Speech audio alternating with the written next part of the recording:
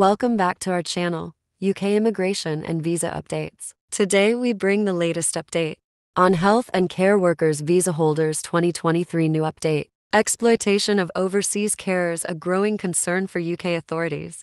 The issue of widespread exploitation of overseas carers recruited to the UK has become a top priority for the Gangmasters and Labour Abuse Authority GLA, the agency tasked with investigating worker related criminality in England and Wales. The GLA has expressed its concerns about the abuse of the health and care worker visa system, leading to a surge in allegations of fraud and modern slavery. This has prompted more than 30 ongoing investigations into care agencies operating illegally, with the GLA admitting that the full extent of the problem remains unclear.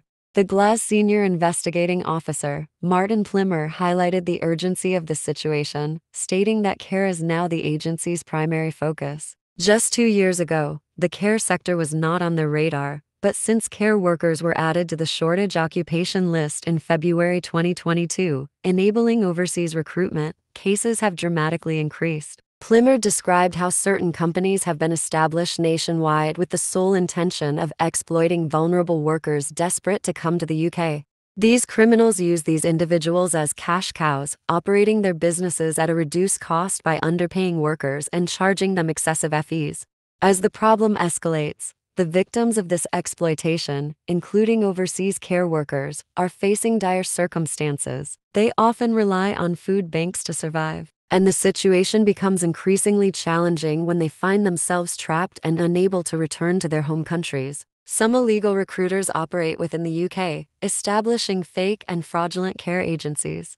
One such victim, known as Mary, shared her experience of seeking work in the UK to support her family back in the Philippines. She was enticed by the promise of better earnings, but soon found herself in a precarious situation, unable to return home or report the agency due to fear. This is just one example of how vulnerable individuals are exploited by unscrupulous actors.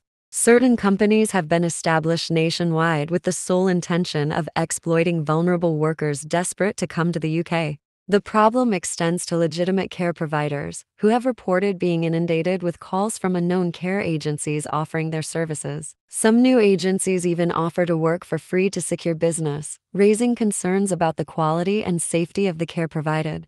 Neil Russell, who runs PJ Care in Milton Keynes and Peterborough, highlighted the desperation of some of these new agencies, underscoring their fly by night nature. Such practices pose a significant risk to residents and care homes and the quality of care they receive. Russell emphasized that some of these practices closely resemble people trafficking, with illegitimate recruiters charging exorbitant fees to bring workers to the UK, sometimes exceeding the fees charged for illegal migration via perilous routes. In response to the issue, the Home Office has condemned the fraudulent employment of health and care worker visa holders and pledged to thoroughly investigate any accusations of illegal employment practices. This situation underscores the urgent need for oversight and regulation to protect both overseas care workers and the vulnerable individuals who rely on their services. Addressing this growing problem is essential to ensure ethical recruitment practices and the safety of those in need of care in the UK. Thank you for watching our video. If you want more informative and latest updates,